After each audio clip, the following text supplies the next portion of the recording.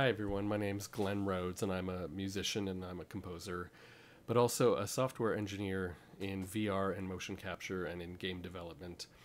One of my biggest frustrations has been the lack of ability to control the deep expressions of things like strings, woodwinds, brass in real time when I'm writing. Yes, there are expression pedals that you can, you know, control one or two things with but it's still not real time enough for me. Really, what I want to do is I want to perform an orchestra. So it got me thinking is there some way that I can combine my engineering and my music to create a piece of software that would allow composers to perform as if they were also conductors? So, like a music director while playing, and, and just you control various aspects of the music just with your body. So you move, you breathe, you emote, and have all that translate into a musical expression.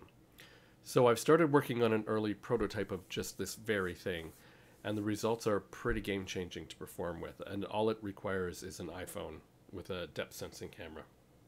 And here it is. So it's tracking my face, and I have, I can get rotation, or yaw, pitch, roll, eyes, mouth, etc. All this stuff all it requires is a uh, an iPhone to be able to use this software, and it streams MIDI information, and you can control all sorts of things with with the data that's coming out. Um, so I've put together a demo of me simply improvising a piece with strings, woodwinds, and brass, and using my head gestures and facial expression to control the experience.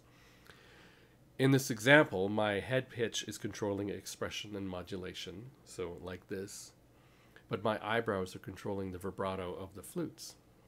And also, my mouth shape is controlling the intensity of the brass. So, as I do that, the brass swells.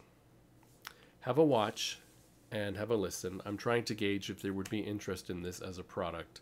The options are kind of endless. You could, you know, for example, have your mouth shape control a wah wah pedal. Anyway, on with the demo.